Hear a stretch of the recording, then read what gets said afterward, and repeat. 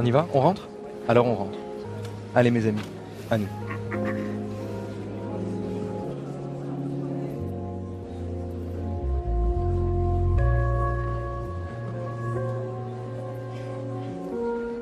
Les philosophes amoureux, par Raphaël Antoven, assisté de Julien Tricard, sur la grande scène du théâtre de l'Europe, rien de moins.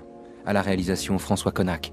Aujourd'hui, Socrate et Alcibiade, ou Alcibiade et Socrate, c'est selon, par Nicolas Grimaldi, avec à la lecture Georges Claes et Polydoros Vogiatsis. Les purs esprits ont également un corps. Pour être philosophes, ils n'en sont pas moins hommes, disent les imbéciles, ravis, comme d'une surprise, de constater que l'amour de la sagesse ne guérit pas des passions ordinaires. Or, non seulement la philosophie n'empêche pas les chagrins d'amour, mais elle a même pour vertu d'en aiguiser l'amertume, au point d'en faire à l'occasion la source vive d'un questionnement, d'une connaissance, dont le corps, c'est-à-dire le cœur, c'est-à-dire l'âme, est le fil conducteur. D'ailleurs, la philosophie elle-même est un chagrin d'amour, puisqu'elle est amour de la sagesse, et qu'être philosophe, c'est avoir la sagesse de regretter que la sagesse nous échappe. Tout ça pour dire qu'on a toujours tort de faire à une pensée le procès de l'existence qui lui a donné le jour, et qu'un système ou un anti-système qui aurait la pauvre propriété de nous rendre inaccessibles aux joies comme à la tristesse ne mériterait pas une heure de peine. Le petit trou du sentiment amoureux n'est pas un trou de serrure, mais une voie royale pour entrer dans une pensée. Nietzsche, Heidegger, Diderot, Socrate et Rousseau sont d'autant plus philosophes qu'ils ont aimé et souffert d'aimer, jugé plus tôt.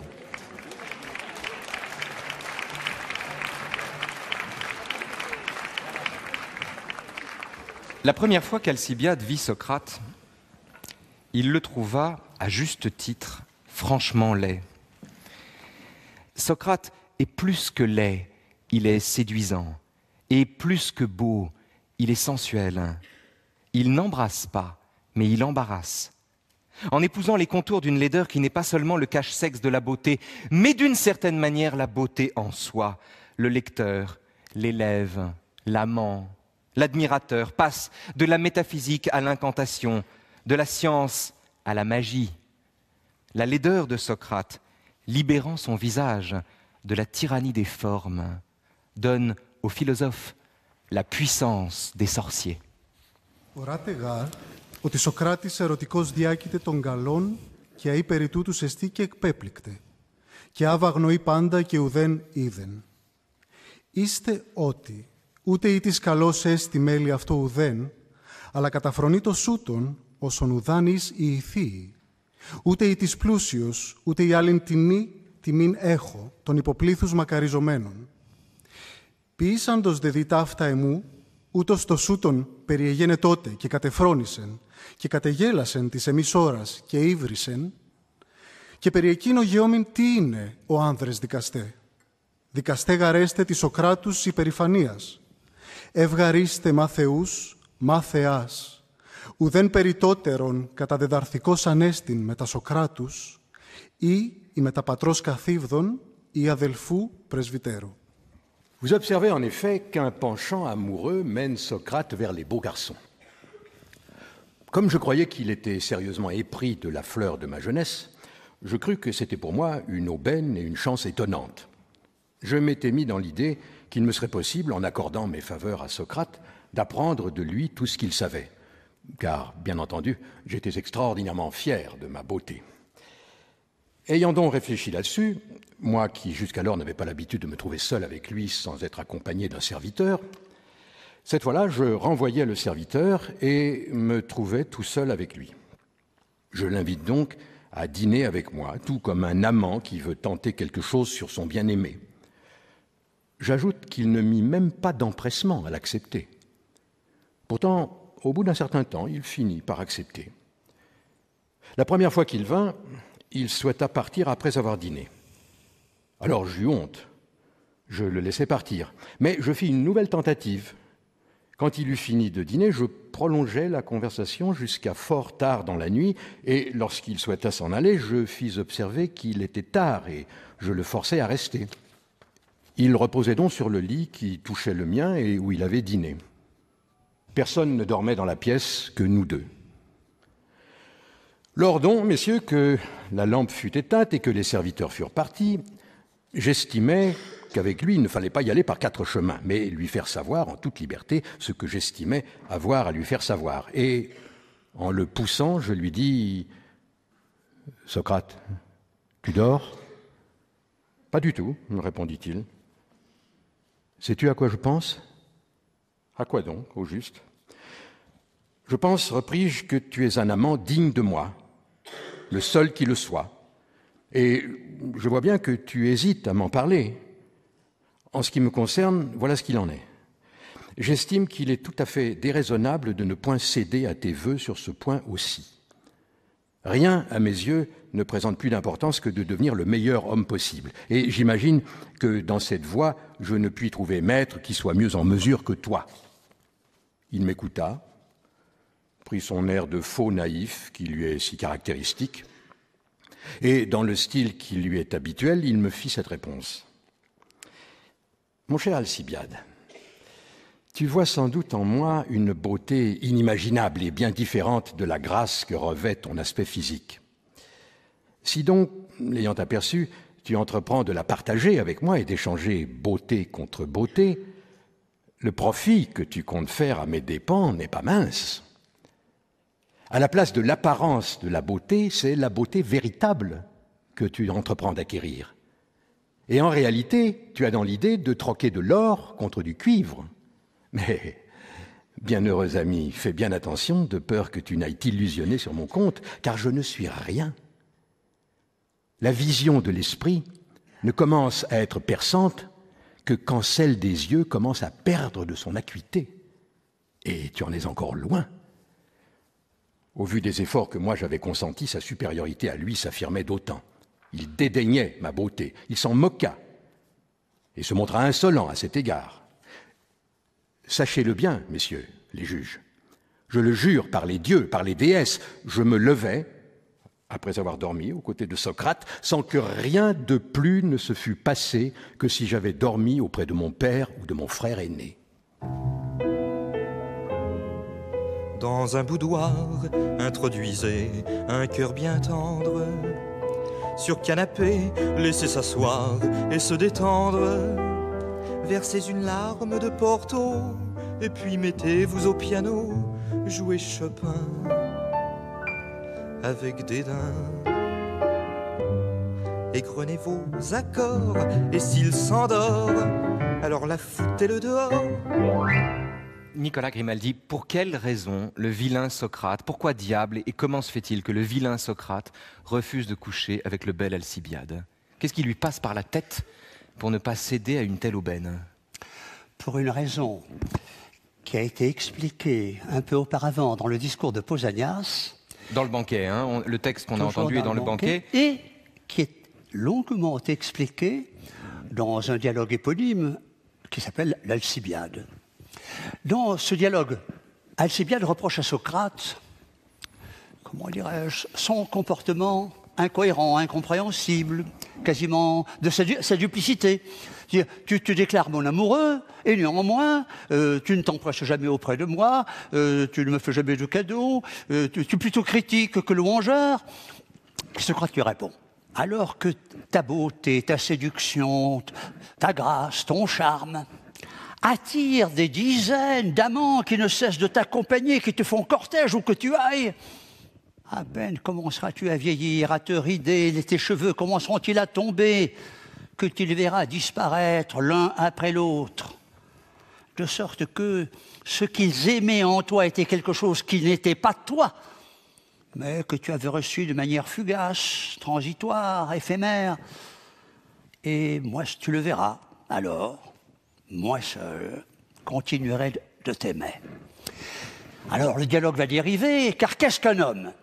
Et la réponse sera, un homme, c'est uniquement son âme. Dans un autre dialogue, un des derniers dialogues de Platon, le Timée, Platon explique comment l'âme fut créée. Alors, comme c'est un mythe, il suppose qu'un démurge avait pris les deux éléments primordiaux, originaires, l'élément du même et l'élément de l'autre. Le même toujours identique, immuable et par conséquent éternel. Parce qu'il est éternel, Il n'est pas corruptible, il n'est pas divisible, donc il n'est pas matériel. Il est donc spirituel, intelligible. Et il est unique. Et l'élément de l'autre, c'est aussi bien ce qui fait l'altérité que ce qui fait l'altération. L'altérité, ce qui est toujours autre que l'autre, c'est le multiple. C'est ce qui n'en finit pas, c'est l'innombrable. Et l'altération, ce qui fait que toute chose change sans cesse, c'est le devenir. Le démurge prit ces deux éléments, les mêla, puis mêla une fois encore ce troisième élément aux deux premiers, il obtint un quatrième élément, ce fut l'âme. L'âme est donc le mélange d'un mélange. Si on peut dire que l'âme tend vers l'éternité comme vers son modèle, ce modèle, l'élément du même, c'est l'élément paternel, ce à quoi l'âme s'efforce de ressembler. Mais l'âme a été plantée, si j'ose dire, dans l'élément de l'autre, et l'autre, c'est ce dans quoi l'âme a été fabriquée, tissée. Donc l'âme est, dans la matérialité du devenir, ce qui a l'éternité pour modèle. Elle tente de s'unir à lui, mais évidemment qu'elle n'y parviendra jamais. Tout ceci pour vous faire pressentir que l'âme qui tend sans cesse vers ce à quoi elle ne parviendra jamais, l'âme est attente. L'âme est désir. Alors il y aura évidemment deux sortes de désirs. Le désir de l'aventure, le désir de l'innombrable, mais c'est un désir toujours malheureux, parce que tant et tant de choses que vous collectionnez, vous ne parviendrez jamais au tout par la suite des nombres. De sorte que quand Socrate dit à Alcibiade que ce qu'il aime en lui, c'est son âme, il nous faut entendre que ce que j'aime en toi, c'est l'exaspération de ton attente. Et en effet, à qui connaît Alcibiade, on sait que tout serait à peine suffisant pour satisfaire son attente. Conquérir Athènes, mais Athènes ne serait qu'en commencement, il, faudra envahir la Sicile, il faudra la Libye, euh, l'Asie lui offrira encore un champ à son attente. Un désir aussi insatiable, aussi effréné, prédispose le jeune Alcibiade à la philosophie. Et ce qu'entreprend Socrate, c'est à, lui faire éprouver, à lui faire sentir, pour lui faire comprendre, que la véritable destination de son âme, la seule chose qui pourrait répondre à son attente, ce serait l'éternité intelligible des idées, la connaissance du bien, de la justice, et voilà pourquoi il privilégie Alcibiade parmi une douzaine d'autres jeunes gens, presque tous aussi charmants que lui, mais en qui l'attente n'est pas si exaspérée qu'en lui. En d'autres termes, c'est par excès d'érotisme et non par suppression de l'érotisme que Socrate donne à Alcibiade une première leçon de philosophie, au terme de laquelle c'est par amour que deux êtres qui s'aiment ne font pas l'amour. Très bien, c'est vous qui l'avez dit, par érotisme. En effet, l'éros a été défini comme le désir du bien. Tout ce qui est bien, tout ce qui est beau, tout ce qui possède quelque perfection, nous l'aimons, nous en avons l'amour. L'éros consiste à vouloir rendre sien toute perfection, toute beauté que nous voyons hors de nous. Toutefois, une telle explication et presque tout aussitôt corrigé par ce que dit Diotime, l'étrangère de Mantinet que vous veniez d'évoquer, lorsqu'elle dit à Socrate que ce que les hommes cherchent dans l'amour, c'est à échapper à la mort et peut-être plus encore à leur solitude, en s'efforçant de se perpétuer en un autre ce qu'il appelle désir d'immortalité. Mais Socrate corrige aussitôt, ce n'est pas que nous espérions rester semblables, car nous changeons sans cesse. Je ne veux pas me perpétuer dans l'identité de ce que je suis, mais continuer. Que quelque chose de moi se perpétue, me survive en un autre. Autrement dit, ce que l'amour désire, c'est se transfuser en un autre. Et Diotime complète alors, Or, jamais cela ne s'opère autant que dans l'éducation. Car jamais aucun fils n'appartient autant à son père qu'un disciple à son maître. Écoutez plutôt le discours sur Eros que nous avons entendu un jour de la bouche d'une femme de Mantinée. Ο έρος ή μεταξύ θνητού και αθανάτου. Δαίμον μέγας ο Σόκρατες. Και γάρ πάντο δαιμόνιον μεταξύ εστί θεούτε και θνητού. Δυο δίκαι της Αφροδίτης, ακόλουθος και θεράπων γέγονεν ο έρος. Γεννηθείς εν της εκείνης γενεθλίης. Και άμα αφήσει εραστής όν περί το καλόν, και της Αφροδίτης καλή σούσης. Άτε ουν πόρου και πενίας, Υιός όν ο έρος εν τη αυτή τύχη καθέστηκεν. Πρώτον μεν, πένι σαΐ εστί, και πολλού διαπαλώστε και καλός, Ιον οι πολλοί ίοντε.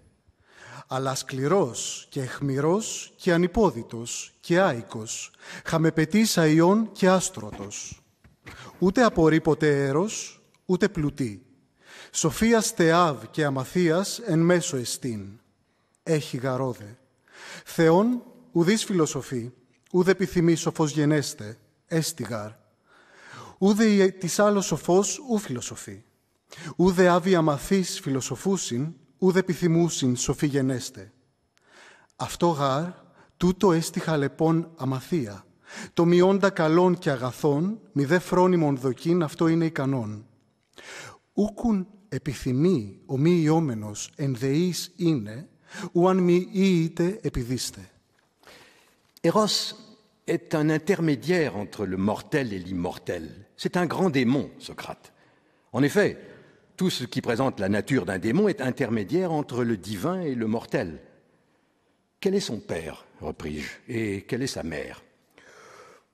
Il faut savoir que le jour où naquit Aphrodite, les dieux festoyaient. Parmi eux se trouvait le fils de Métis, Poros. Or, quand le banquet fut terminé, arriva Peña, qui était venue mendier, comme cela est naturel, un jour de bombance, et elle se tenait sur le pas de la porte. Or, Poros, qui s'était enivré de nectar, car le vin n'existait pas encore à cette époque, se traîna dans le jardin de Zeus et, appesanti par l'ivresse, s'y endormit. Alors Peña, dans sa pénurie, eut le projet de se faire faire un enfant par Poros. Elle s'étendit près de lui et devint grosse d'Eros. Si Eros est devenu le suivant d'Aphrodite et son servant, c'est bien parce qu'il a été engendré lors des fêtes données en l'honneur de la naissance de la déesse. Et si en même temps il est par nature amoureux du beau, c'est parce qu'Aphrodite est belle. Puisque donc il est le fils de Poros et de Peña, Eros se trouve dans la condition que voici. D'abord, il est toujours pauvre, et il s'en faut de beaucoup qu'il soit délicat et beau comme le croient la plupart des gens. Au contraire, il est rude, malpropre, vanupier, et il n'a pas de gîte. À l'exemple de son père, en revanche, il est à l'affût de ce qui est beau et de ce qui est bon. Il est viril, résolu, ardent. C'est un chasseur redoutable. Il ne cesse de tramer des ruses. Il est passionné de savoir et fertile en expédients. Il passe tout son temps à philosopher. C'est un sorcier redoutable, un magicien et un expert. Aussi, Eros n'est-il jamais dans l'indigence ni dans l'opulence. Par ailleurs, il se trouve à mi-chemin entre le savoir et l'ignorance. Si l'on est savant, on n'a pas besoin de tendre vers le savoir. Les ignorants ne tendent pas davantage vers le savoir ni ne désirent devenir savants. Mais c'est justement ce qu'il y a de fâcheux dans l'ignorance. Alors que l'on n'est ni beau, ni bon, ni savant, on croit l'être suffisamment.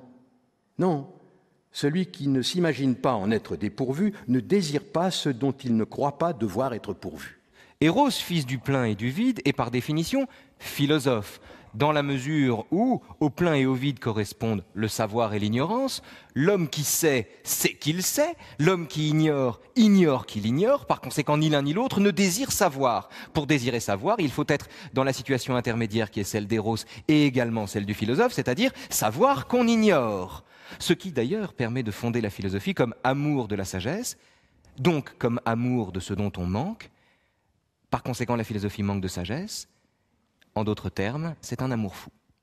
Cet amour que vous dites, amour de la sagesse, En termes platoniciens, la sagesse consisterait, chez Platon, mais en général chez les Grecs anciens, à la fois à être juste et à acquérir ou à jouir du bonheur, à se rendre capable de bonheur. Cette sagesse à laquelle on aspire, parce que l'âme est attente, nous l'avons vu, c'est celle qui mettrait fin à l'attente. Ce qui nous procurerait enfin ce qui ne laisserait plus rien à attendre, c'est-à-dire l'éternité, à quoi on ne peut rien ajouter, la plénitude qui déborderait si on y ajoutait quoi que ce fût, et en même temps la béatitude. Et pourquoi Alcibiade est-il amoureux de Socrate, lequel est laid Parce que, et c'est ce qui fait le charme de Socrate, Socrate ne ressemble à personne. Il n'y en a pas deux comme lui. Il est à la fois laid et très beau. À l'écouter, on croirait qu'il ne sait rien et en fait, on se rend compte qu'il sait tout. C'est un homme de surcroît qui semble ne rien désirer pour lui. À la bataille de Potidée, il s'expose à la mort pour sauver Alcibiade, et lorsqu'on s'apprête à lui, donner une, décoration, il dit non, non, donnez-la plutôt à Alcibiade, ça lui fera plaisir, bon, je n'ai besoin de rien, etc. Là où Alcibiade confesse l'essentiel du magnétisme exercé par Socrate, si lorsqu'il dit il ressemble à un silène ou à, un satyre euh, qu'on trouve dans les ateliers de sculpteurs, extérieurement grotesque, et lorsqu'on les en trouve, ce sont des merveilles.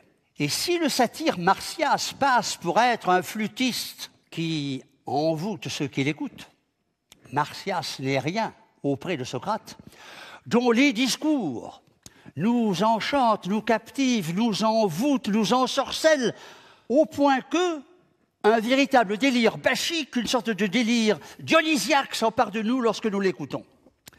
Et c'est cela qui fait le charme de Socrate. C'est un, enchanteur, il y a un, mot qui revient très souvent chez Platon pour désigner euh, ce caractère de Socrate, c'est ehepode, c'est-à-dire l'enchanteur. Et lorsque Socrate est sur le point de mourir, il dit à ses disciples, à ceux qui sont auprès de lui, eh bien, hâtez-vous de trouver désormais un autre enchanteur. Cet enchanteur, dit l'un des protagonistes de Socrate, donc il nous a guéris. Il y a une sorcellerie socratique.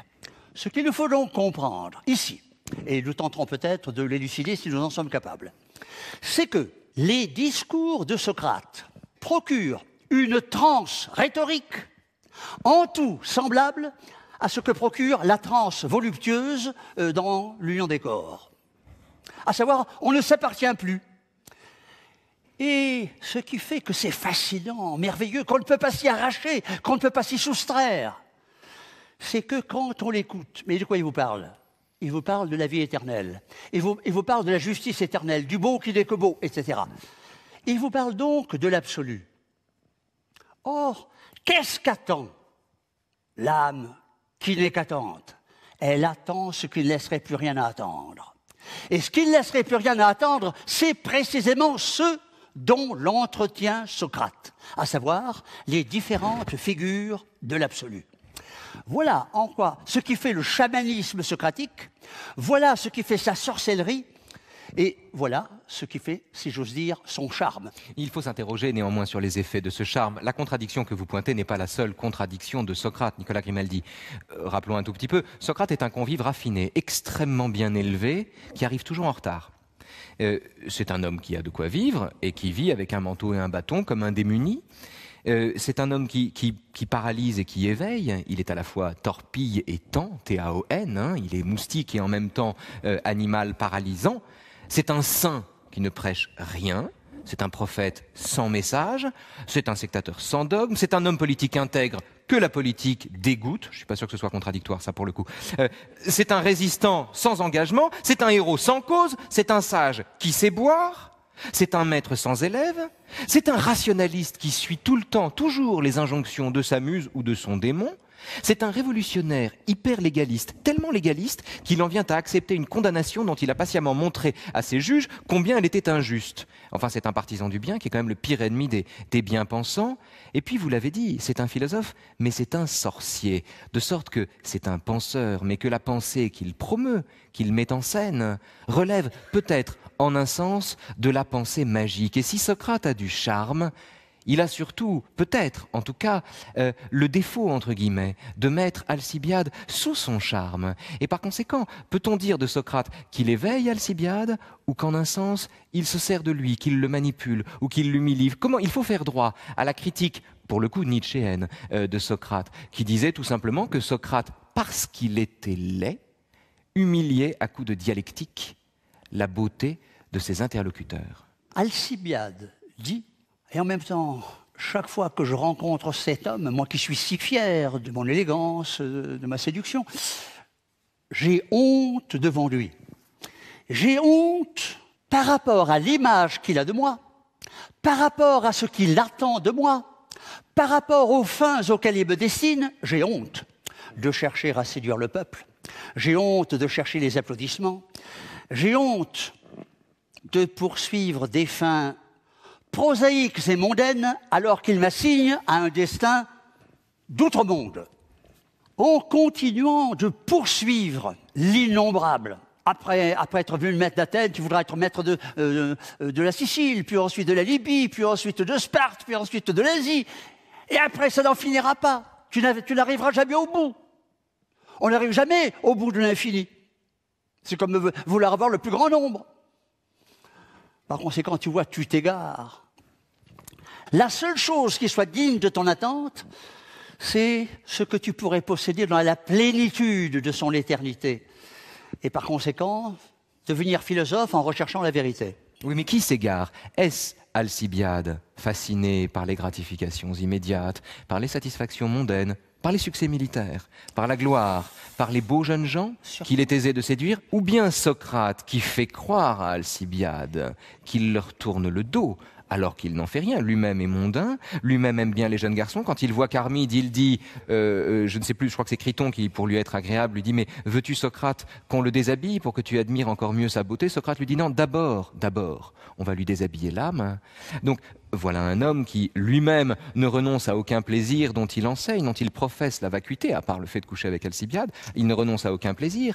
Qui s'égare en définitive? Et puis, quand Socrate parle avec euh, Hippias et qu'il lui demande ce qu'est la beauté, Hippias lui dit la beauté c'est une belle vierge. Évidemment, Socrate ne s'en satisfait pas, et en terminale, il est d'usage de dire est-il bête cet Hippias de confondre la beauté avec une belle vierge? Mais la beauté est-elle envisageable séparément du corps qu'il incarne, qu'il exprime ou qu'il la signifie? Est-ce qu'au fond, les désirs d'Alcibiade, comme ceux de Caliclès dans le Gorgias d'ailleurs, euh, est-ce qu'au fond les désirs d'Alcibiade ne sont pas chez Alcibiade l'expression d'une aptitude au présent, à la réalité, au monde sensible, que sa précarité ne doit pas nous détourner d'aimer, alors que la sagesse de Socrate témoigne d'un dégoût qui ne l'engage pas à l'endroit de ce qui est éphémère, au profit de ce qui n'est pas éphémère mais qu'on ne peut pas saisir? Qu'Alcibiade contrairement à Socrate. Et l'intuition ou le discernement de jouir de l'instant dont on ne jouera jamais deux fois, aimer ce qu'on ne verra jamais deux fois. Précisément, c'est ce que toute l'existence d'Alcibiade dément. Alcibiade n'est jamais satisfait de rien. Un siècle exactement sépare Alcibiade d'Alexandre. Mais s'il avait connu Alexandre, s'il avait pu pressentir les conquêtes d'Alexandre, c'est exactement ce qu'aurait voulu être Alcibiade. À moins de tout, rien n'est assez. Ce qui fait que le présent ne peut être qu'insatisfaisant pour Alcibiade. Il veut toujours autre chose. C'est, comment dirais-je, c'est le désir d'une contingence infinie. D'autre part, si on pensait qu'Alcibiade, raisonnablement, ne séparait pas la beauté de la chose, du corps dans lequel elle s'incarne, on ne comprendrait pas que rien pût répondre à l'attente d'Alcibiade. Je voudrais, si vous m'y autorisez, attirer votre attention. C'est une chose que Sartre lui-même évoque furtivement dans L'être et le néant. c'est que tout langage, toute énonciation se réfère à un sens absolu qui dégénère dans la chose que nous citons, que nous nommons. Si je dis cette eau est froide, je me réfère à la notion du froid. Et une notion de froid à laquelle toutes les choses froides participent plus ou moins relativement. Donc, c'est par rapport au froid absolu que je peux dire, par analogie, et en quelque sorte par dérivation, que ce liquide est froid. Ainsi en va-t-il de toutes choses, de la justice, de la beauté, euh, tout langage porte en lui une distinction imperceptible que nous n'observons pas, une distinction entre le sens absolu que nous désignons et auquel nous référons la chose, et le sujet auquel nous la rapportons. De sorte que le réel que nous nommons, que nous désignons, le réel ne peut, ne peut être vécu que comme dérivé, précaire, relatif par rapport à ce que le langage y désigne, c'est-à-dire dans un corps ce qui n'est pas le corps. Par ailleurs, si beau que soit un corps qu'on puisse posséder, le corps d'une personne aimée, cette beauté n'est que transitoire, éphémère, précaire, et un jour elle s'en éventera, elle s'en évaporera. Mais est-ce une raison pour lui tourner le dos? C'est ça que je ne comprends pas. Tourner le dos, c'est une métaphore ici. Hein. Étant Socrate, comme euh, vous le supposiez, je dois, je dois vous en avertir. Cette beauté, un jour, vous décevra. De sorte que vous en, vous en choisirez une autre. Vous dites que Alcibiade pourrait se satisfaire des plaisirs dont il jouit au moment même dont, il en jouit. Socrate ne peut que le mettre en garde contre la dialectique, pardonnez-moi ce mot, contre la dialectique calamiteuse du plaisir. Car le propre du plaisir est que on en jouit d'autant moins qu'on en a joui davantage. Plus ce plaisir se sature et m'empêche d'en jouir. De sorte que, si j'ose dire, la lie est au fond de la coupe. Par ailleurs, infinis sont les plaisirs possibles. Et finis, bornés, limités, est ma capacité d'en jouir. Plus je mange, malheureusement, moins j'ai faim. C'est ce qui fait que mon désir, si j'ose dire, est toujours insatisfait. On, retrouve ce modèle chez Descartes dans la cause de l'erreur. La cause de l'erreur qui est l'écart ah entre, entre l'infinité de la volonté et les limites de mon entendement. Mais si le plaisir s'épuise par sa multiplication, faut-il pour autant, au nom d'un plaisir véritable, en ajourner la satisfaction. Est-ce que entre un plaisir qui s'épuise par sa multiplication et un plaisir qui s'absente parce que sa précarité nous en détourne, le choix est pour le coup véritablement un, choix de vie qui engage finalement des décisions tout à fait euh, prosaïques. Pardonnez-moi de le dire prosaïquement comme ça. C'est le seul mot prosaïque et savant que, le langage, dont le langage dispose. Mais c'est la différence qu'il y a entre ce qu'on a appelé, euh, ce qu'on appelle des, amours vulgaires et l'amour platonique. ce que Pausanias avait désigné comme les amours célestes, qui ne s'adressent qu'aux âmes, et dont généralement les hommes seuls sont capables, euh, dit-il. Et d'autre part, les amours euh, populaires, euh, pandémiennes, vulgaires, qui se satisfont de, n'importe quel corps, n'importe où, à n'importe quel moment.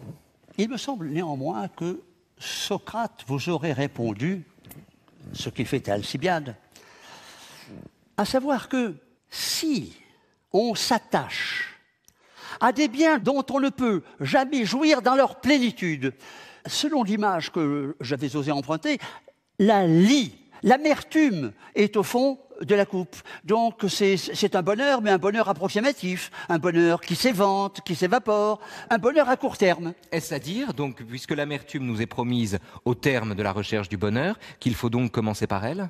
Ce qui fait que je me suis attaché à toi, Alcibiade, c'est que j'ai reconnu en toi une attente qui n'a sa pareille en aucune autre.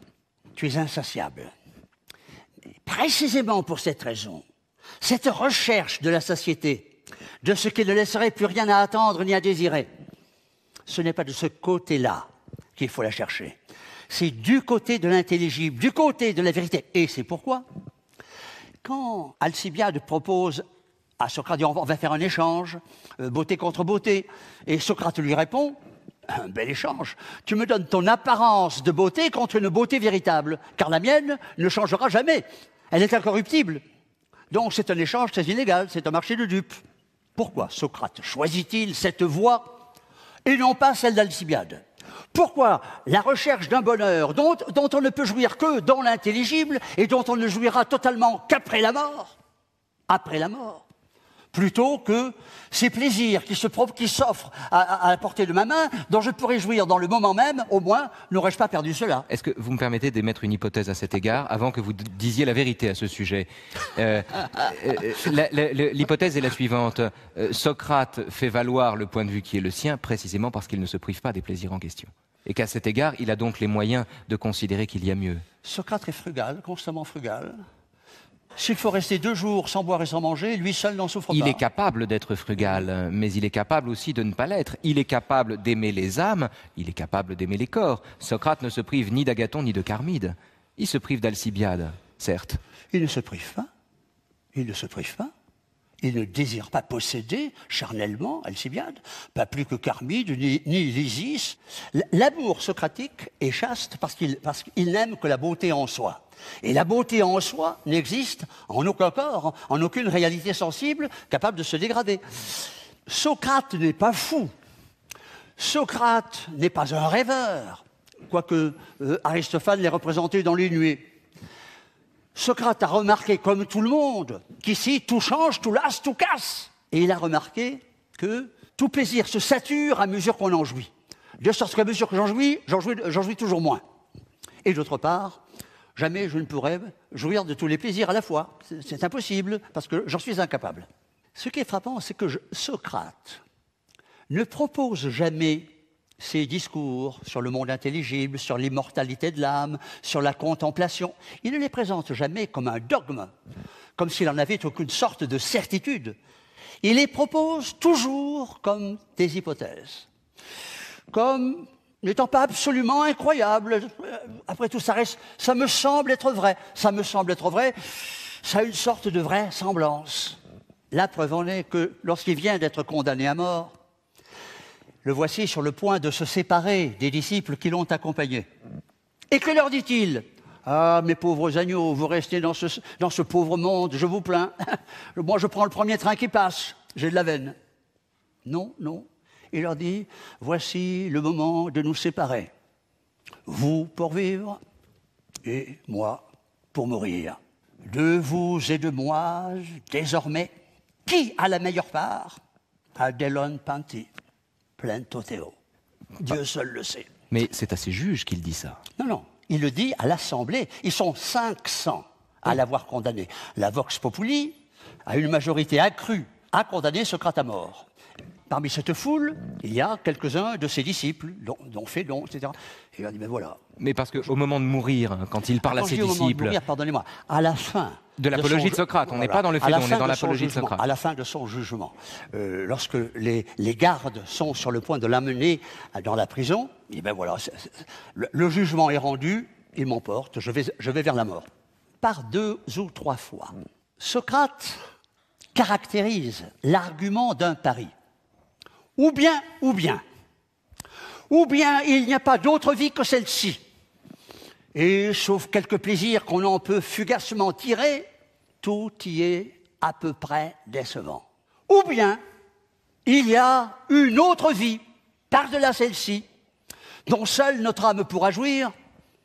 Et alors, il y a une chance pour notre âme de rencontrer ce qui ne laisserait plus rien à attendre, et par conséquent de connaître le bonheur, la plénitude et l'éternité. Je ne dis pas que j'ai la certitude de la seconde hypothèse, mais après tout, une vie perdue d'avance ne peut pas être perdue deux fois. Alors, autant parier. Et c'est pourquoi je crois que si nous avons une chance, si c'est qu'il existe un monde intelligible vers lequel notre âme retournera, où elle verra la beauté en tant que beauté, qui ne périra ni ne fanera jamais, et dont elle sera éternellement amoureuse. Sauf que l'argumentaire pascalien du pari culmine dans la sentence selon laquelle si on gagne, on gagne tout, si on perd, on ne perd rien. On pourrait objecter à Socrate que dans l'hypothèse où il n'y a pas de vie après la vie, euh, s'il perd, il perd tout. Et s'il gagne, il gagne tout aussi.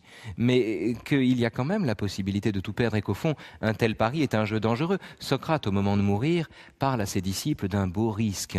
On est au terme du Phédon. Le Phédon est un dialogue sur l'immortalité de l'âme. Il s'attache, il s'évertue à démontrer l'immortalité de l'âme vainement mais euh, comme une critique à l'avance d'ailleurs de l'argument ontologique, c'est-à-dire de l'idée qu'au fond, il ne suffit pas d'avoir l'idée de l'immortalité pour que l'immortalité s'impose à nous, comme une, critique à l'avance de cet argument qui s'en prendra plus tard à l'existence de Dieu, euh, Socrate euh, confesse qu'il échoue à démontrer l'immortalité de l'âme. Son argumentaire culmine avec l'idée qu'au fond, mourir est un beau risque, et également avec le fameux chant du cygne dont Socrate veut croire sans le savoir, qu'il chante non pas de tristesse, mais de bonheur à l'approche de mourir. Le beau risque, c'est que le monde intelligible n'existe pas, que l'âme ne soit pas immortelle, et que par conséquent, nous ayons renoncé à des plaisirs pour un bien que nous n'aurons jamais possédé. Lorsque vous dites Socrate postule, exige, demande, espère qu'il y aura une vie après la vie, où nous pourrions être possédés, nous unir à ce qui ne laisse rien à attendre, nous unir à l'absolu. Mais ce désir d'une vie après la vie est précisément ce qui fait l'amour, vient de nous dire Diotim.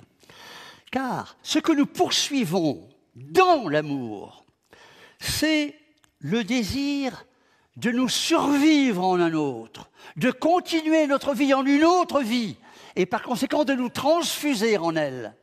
Alors les uns le cherchent dans la paternité, les enfants ne nous appartiennent que par illusion.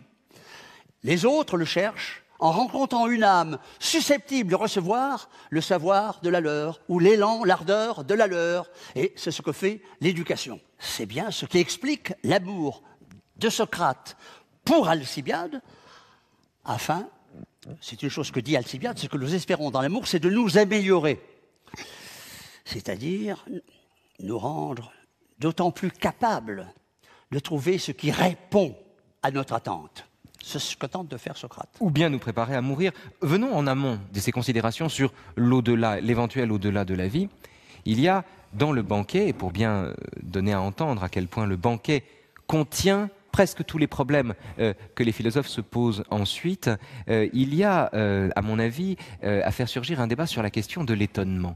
Et je voudrais qu'on en vienne à cette question rapidement, à la faveur de l'arrivée d'Alcibiade. On sort ici des, discours. Socrate vient de finir son discours, vient de raconter la naissance d'Eros.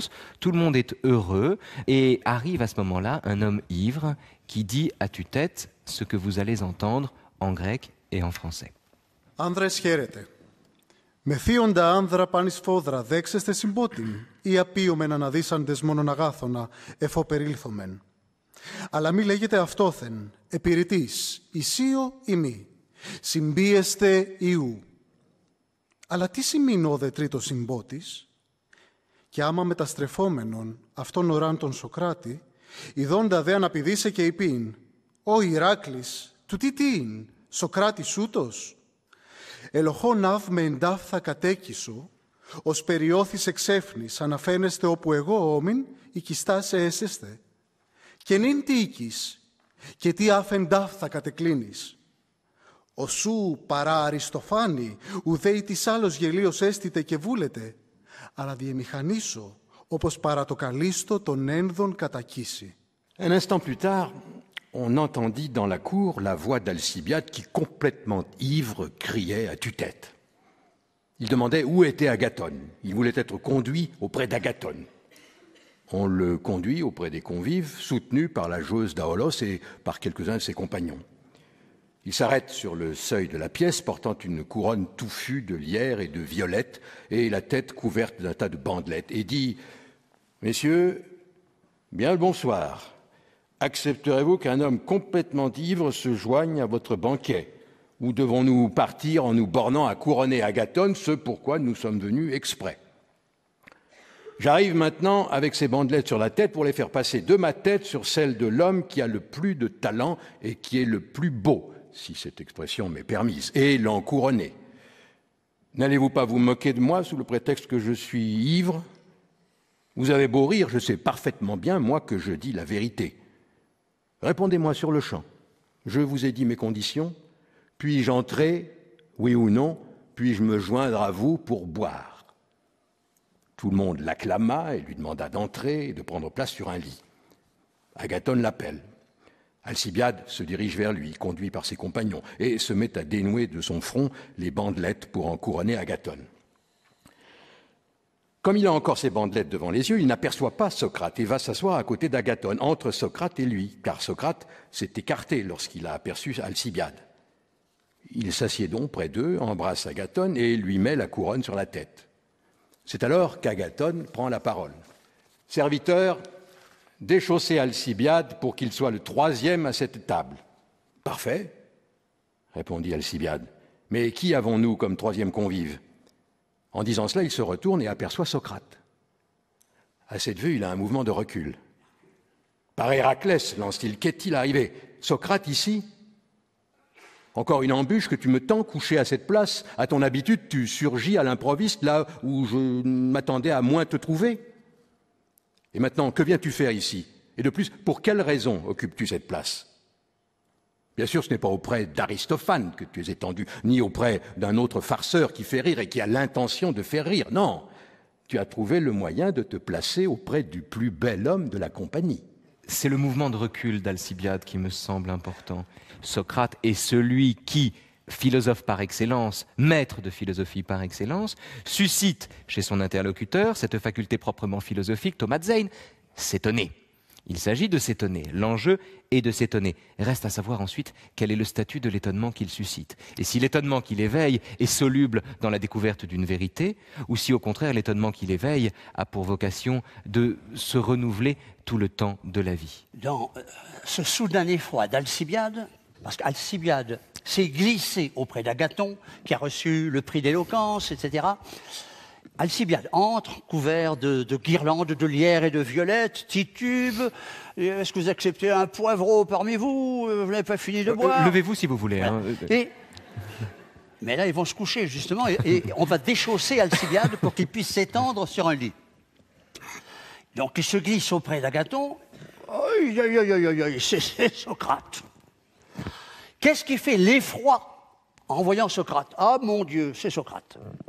Premièrement, Socrate, qui se pose en mon amoureux, va me faire une scène de jalousie puisque je viens pour séduire Agathon, puisque je viens chercher les complaisances d'Agathon.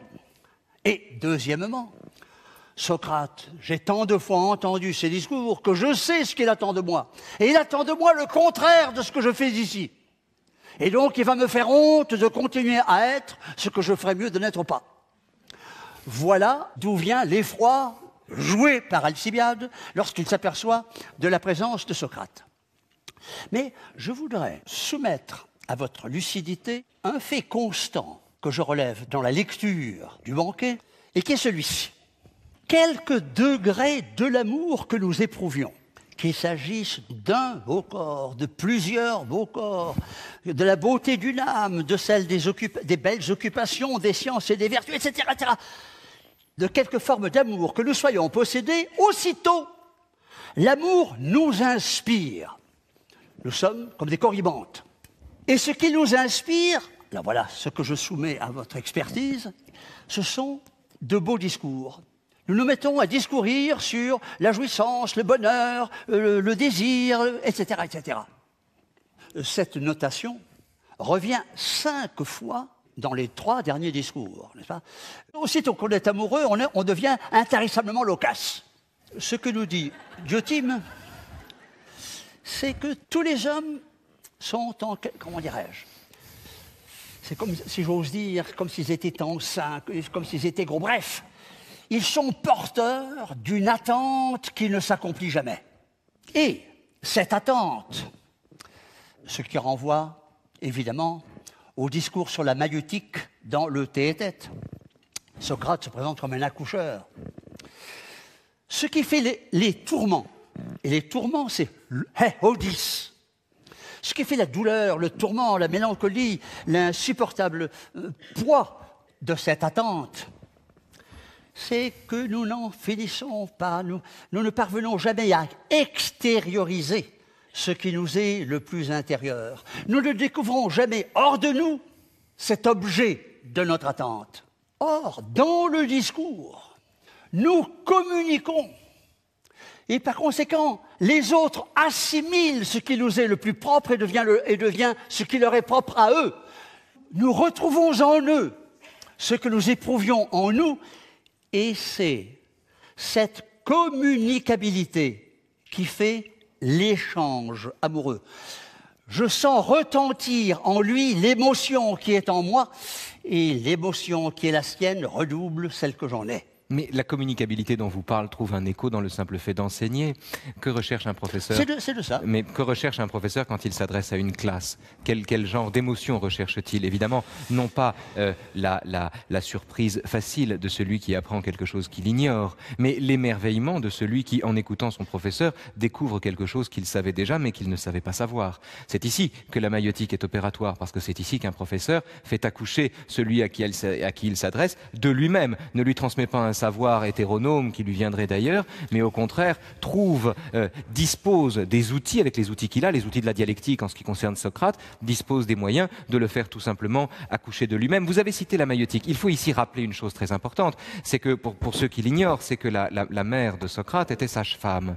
Et dans le Théétète, Socrate dit exercer le même métier que sa mère, à cette différence près que sa mère accouche les femmes et les corps, alors que lui accouche les hommes et les, les esprits, les hommes et les âmes. Et est-ce que, au fond, euh, de la même manière que amour et philosophe, enseigner la philosophie, ou plus exactement pratiquer la philosophie, donne inévitablement à cet égard envie d'enseigner comme l'amour donne envie de chanter?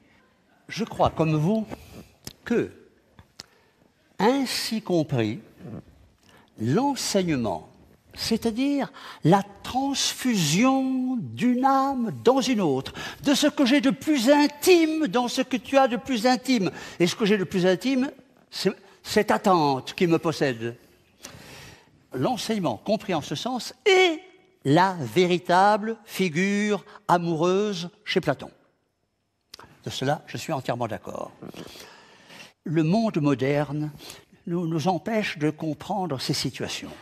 Je vais si je parle de l'amour euh, du, du, maître pour son disciple, du disciple pour son maître, euh, tous les lecteurs de la Régence euh, au XVIIIe siècle, n'est-ce pas, comprendront autre chose que ce que je dis et croiront que le, le, le, le maître est, est, une sorte de Valmont et que le disciple est une sorte de, de Cécile. Cécile de Volanges, oui.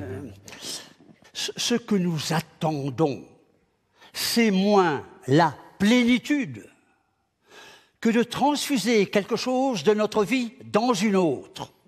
Car l'essence même, mais ce n'est pas du Platon, l'essence même de la vie, c'est de se déborder elle-même.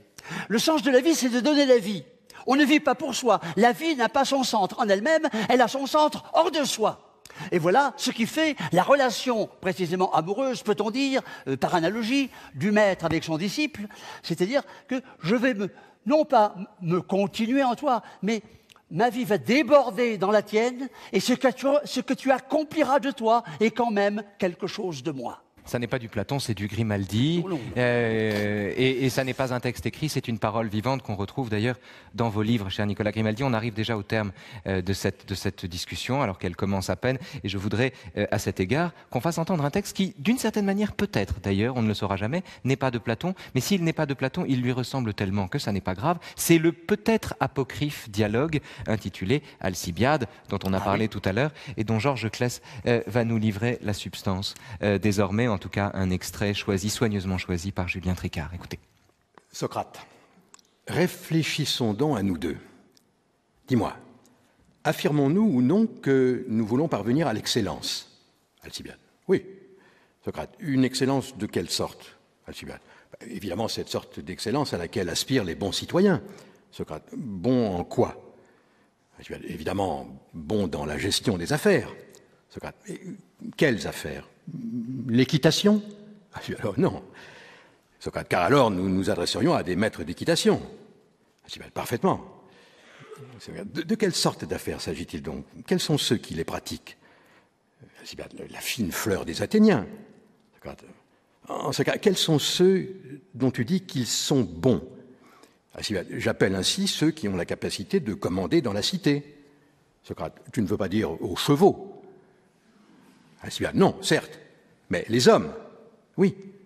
Les hommes euh, malades, ah non. Ceux qui naviguent, pas davantage. Ceux qui moissonnent, non, non.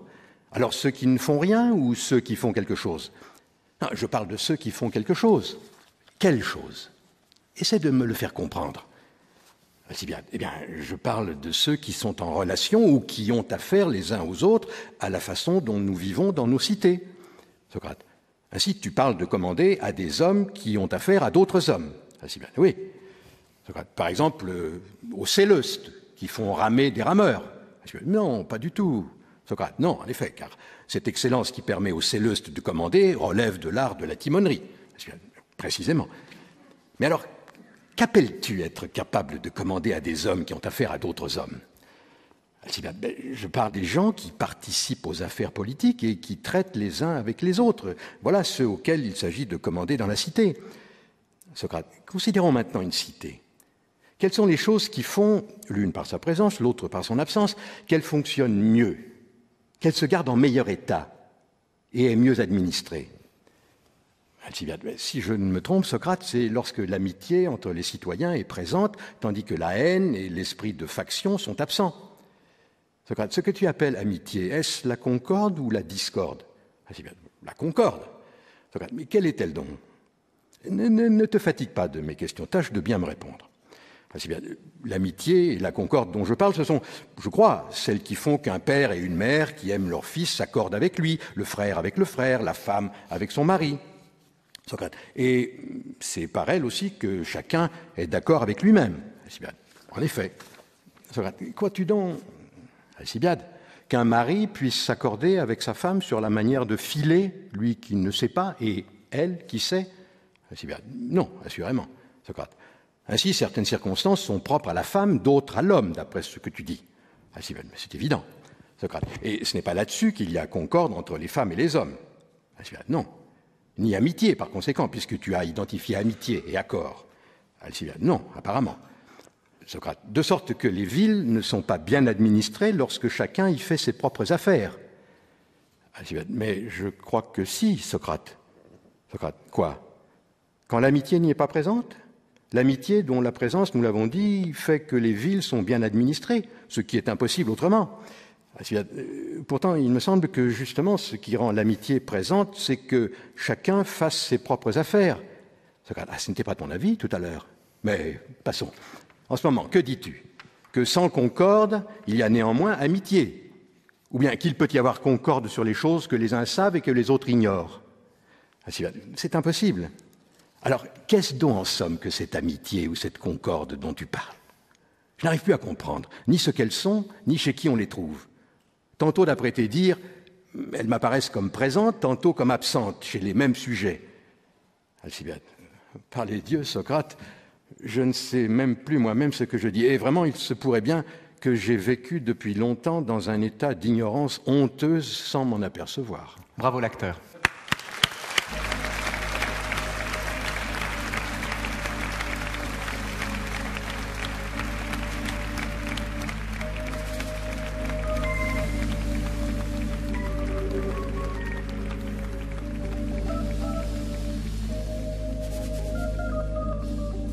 Merci à nos deux lecteurs du jour, Georges Kless et Polydoros Vogiatsis. Merci à Julien Tricard, à qui l'on doit le montage de ces textes magnifiques. Merci à François Connac, notre réalisateur, et pour France Culture à Andreas Jaffray et Philippe Cabon, ainsi naturellement, comme à chaque fois, aux équipes techniques du théâtre de l'Odéon, théâtre de l'Europe qui nous accueille chaleureusement, amicalement, tous les samedis un grand, un immense merci enfin à Nicolas Grimaldi, dont le livre d'ailleurs sur Socrate, intitulé Socrate le sorcier, qui est paru il y a quelques années aux presses universitaires de France, est vraiment un modèle du genre. On se retrouve en ce qui nous concerne samedi prochain pour la suite et la fin de ces aventures amoureuses en compagnie de nouveau de Raymond Trousson, le biographe, cette fois-ci non pas de Diderot ni de Voltaire, mais de Rousseau, car c'est de Rousseau que nous vous parlerons, les amours de Rousseau et de Maman. Vous verrez, vous entendrez samedi prochain à 11h ou en podcast, comme toujours, sur franceculture.fr.